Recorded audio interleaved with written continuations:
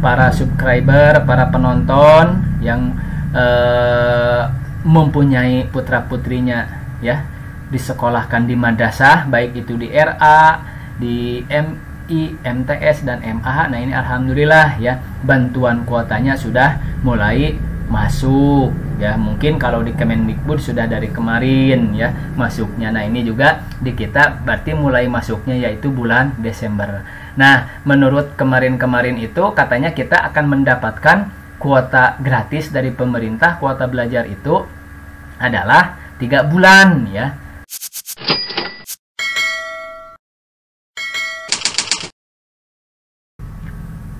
Assalamualaikum warahmatullahi wabarakatuh Teman-teman semuanya. Dari Sabang sampai Merauke Selamat berjumpa kembali dengan channel Degun Family. Mudah-mudahan pada kesempatan ini kita selalu Selalu dan selalu diberikan kesehatan oleh Allah subhanahu wa ta'ala. Amin ya Allah ya Rabbal Alamin. Pada kesempatan ini saya akan memberikan Atau menyampaikan Atau meneruskan sebuah informasi Dari Pendis Kemenag Republik Indonesia yang berhubungan dengan bantuan kuota internet untuk belajar siswa-siswi yang belajar di madrasah baik itu RA, MI, MTS dan madrasah aliyah. Oke, langsung saja kita let's go ke TKP. Kita buka seperti biasa Google Chrome. Duh, maaf. Nah, ini ya teman-teman uh, ini adalah berita ya ini Jumat ya 4 Desember 2020 nah ini beritanya tanggal berapa nih? Ada di sini ya. Uh, Selasa nah ini. Nah ini perhatikan ya teman-teman atau para subscriber atau kebetulan para orang tua ya yang mempunyai siswa-siswi yang menyekolahkan di madrasah ya baik itu di RA, MI, MTS atau madrasah aliyah. Nah ini sudah masuk ya bantuan kuota data internet untuk belajar. Nah, ini beritanya yaitu tanggal 1 Desember ya 2020 ini sudah beberapa hari yang lalu. Bantuan jutaan paket data internet PJJ ya.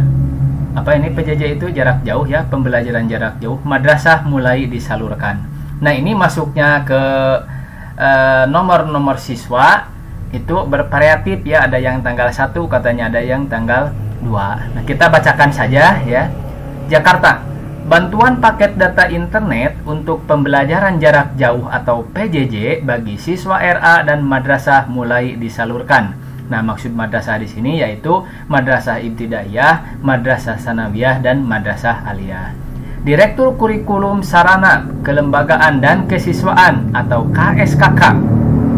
Maaf ada suara motor banyak ya, teman-teman Madrasah Ahmad Umar mengatakan bahwa provider paket data hari ini mulai menginformasikan proses pengiriman bantuan kepada penerima. Ya Allah, suara motor banyak sekali nih. Total ada 7.635.376 paket data sebesar 35 GB bagi siswa MI, MTS, dan MA serta 20 GB bagi siswa RA secara bertahap akan disalurkan. Nah, ini katanya ya, secara bertahap akan disalurkan. Dalam rangka mensukses, mensukseskan pembelajaran jarak jauh, maka mana tadi ya? Oh ini ya, maka nomor Anda akan mendapatkan bantuan kuota data internet dari Kementerian Agama RI. Lanjut Umar membacakan pesan dari provider yang dikirim ke nomor handphone para penerima.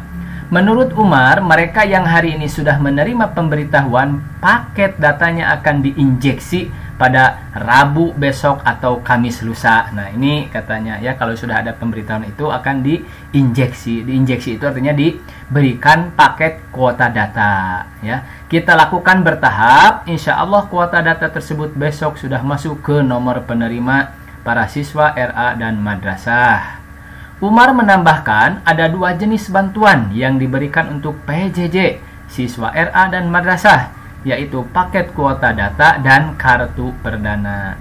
Paket kuota diberikan untuk siswa yang sudah memiliki kartu seluler yang aktif. Kepada mereka tinggal diinjeksi paket datanya. Kartu perdana, kata Umar diberikan kepada siswa yang belum memiliki kartu seluler yang aktif. Mereka sudah didata oleh operator RA dan madrasah. Kartu akan diberikan sesuai provider yang mereka pilih. Hari ini, provider mulai mendistribusikan kartu perdananya ke RA dan madrasah ini kata Bapak Umar ya, e, Direktur KSKK. Bantuan PJJ ini diharapkan dapat menguatkan proses pembelajaran di RA dan madrasah berbasis digital secara serta meringankan beban orang tua siswa lanjutnya. Nah, ini rekap pengajuan kuota internet siswa RA dan madrasah tahun 2020. Nah, ini yang pertama adalah Indosat Nah ini persentasenya adalah 15 per persen. Terus yang kedua smart pen ya ini persentasenya 12 persen. Ketiga Telkomsel. Nah ini Telkomsel paling gemuk ya ini persentasenya 40 persen. Terus Tri ya kartu perdana total yaitu 6 persen. Terus juga yang terakhir adalah XL ya. Kartu perdana ini semua ya. Dari nomor 1 sampai nomor 5 ini adalah kartu perdana. Totalnya yaitu 28%. Nah, ini ya mudah-mudahan saja bagi siswa-siswi yang sekolah atau yang belajar di madrasah ini sudah apa mudah-mudahan bisa memanfaatkannya ya bantuan kuota yang saya rasakan ya dari kemarin-kemarin banyak dari mereka yang bertanya Pak kapan katanya bantuan itu? Pak kapan katanya bantuan itu? Nah ini sekarang ini jawabannya ya teman apa teman-teman adik-adik ya yang belajar di madrasah sanawiyah di madrasah aliyah. Nah ini ya jawaban dari direktur KSKK ya Bapak Umar Bapak Haji Umar. Nah ini ya berdasarkan di lapangan untuk kartu ini ya kartu perdananya ini madrasah saya juga belum menerima ya. Ini karena kenapa ya? Mungkin karena e, jarak ya antara Jakarta dengan Bumbulang ya yang begitu jauh ratusan kilo ratusan kilometer. Nah seperti itu salah satunya mungkin ini ya. Terus nah khusus di madrasah saya mungkin juga di madrasah teman-teman juga ya e, tidak terlalu jauh berbeda. Nah itu hampir 75% ya hampir 75% itu yang didaftarkan siswa itu adalah kartu perdana atau kartu yang baru ya.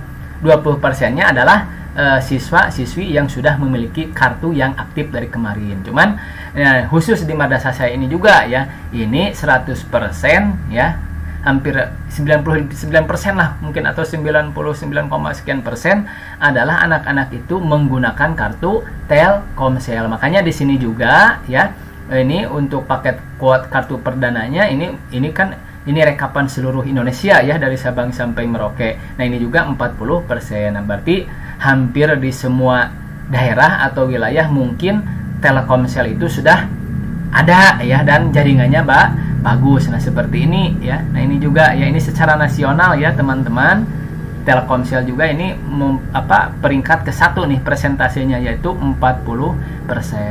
Nah, bagi para subscriber Degun Family atau kebetulan ada sekarang yang apa mampir ya ke channel Degun Family kebetulan mempunyai siswa apa putra-putri uh, yang belajar di madrasah. Nah, ini adalah kabar terbaik atau kabar-kabar yang menggembirakan. Jadi silahkan cek ya apakah sudah masuk ke uh, nomor uh, apa nomor kartu siswa apa nomor kartu putra putri ibu ya semuanya. Atau belum ini bi bisa silahkan dicek. Nah kebetulan di madrasah saya juga ada beberapa ya.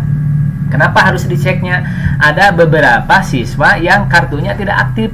Jadi katanya keterangannya di sana seperti uh, di video kemarin ya yang saya upload itu ada keterangannya ya. Jadi kartu tidak aktif atau kartu tidak ditemukan.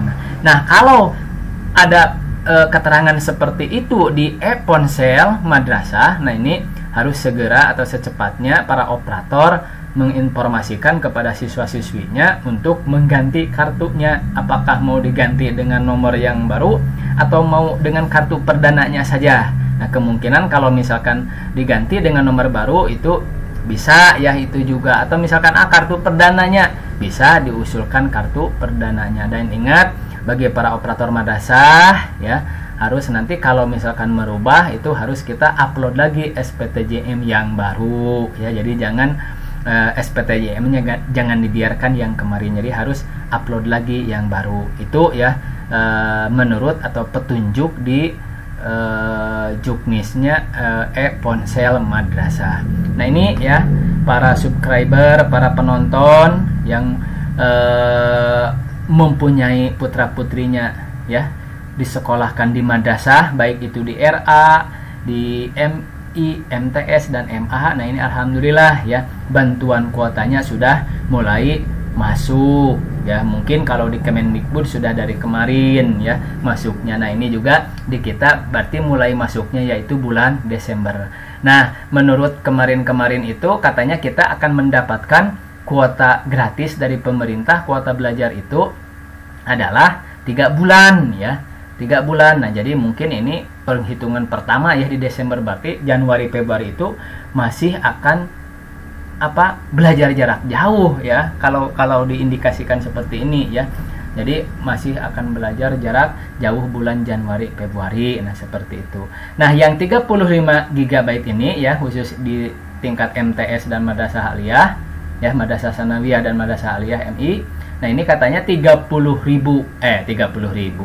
30 giga kuota belajarnya 5 giga kuota regulernya. Nah itu jadi manfaatkan semaksimal mungkin ya se efektif mungkin ya untuk kuota bela belajar. Jadi ada ketentuannya ya teman-teman. Apabila katanya di bulan pertama tidak habis 1 giga nanti di bulan kedua ketiganya tidak akan mendapatkan. Jadi kemungkinan itu dianggap tidak di gunakan jadi manfaatkanlah semaksimal mungkin ya. Habiskan itu yang 35 giga itu per bulan ya karena kemungkinan ini tidak akan ada istilah akumulasi paket ya. Jadi kalau misalkan satu bulan habis ya habis hangus ya. Walaupun ada e, tersisa paket datanya atau tersisa datanya. Nah itu saja. Mudah-mudahan ini sekilas berita atau informasi mudah-mudahan bisa bermanfaat dan mudah-mudahan bisa sedikit mencerahkan khususnya bagi para subscriber, para penonton Degun Family yang mempunyai putra-putrinya ya yang sekolah di madrasah ya baik itu di RA apa di RA di MI, MTS dan madrasah aliyah. Mudah-mudahan bisa bermanfaat. Ingat bagi yang belum subscribe ya, belum subrek silahkan subscribe dulu Degun channel apa channel Degun Family ingat jangan lupa bahagia hari ini. Billahi taufiq wal hidayah. Wassalamualaikum warahmatullahi wabarakatuh